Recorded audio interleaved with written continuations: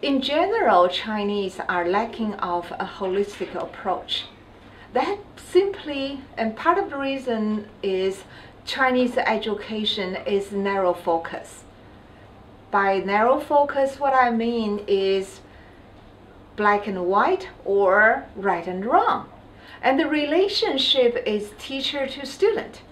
However, from my experience, since my daughter went to U.S. schools, from elementary to college, I could tell in U.S. the kids start doing self-research uh, projects at a very young age.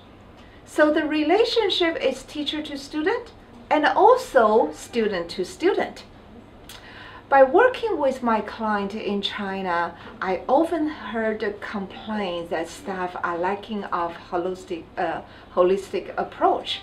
Recently, an Australian client told me their staff couldn't do a big good job in organizing a project because they are lacking of a holistic approach.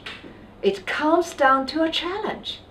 So now you know it's quite common in China and then you need to provide opportunities to the staff, let them learn a holistic approach to work.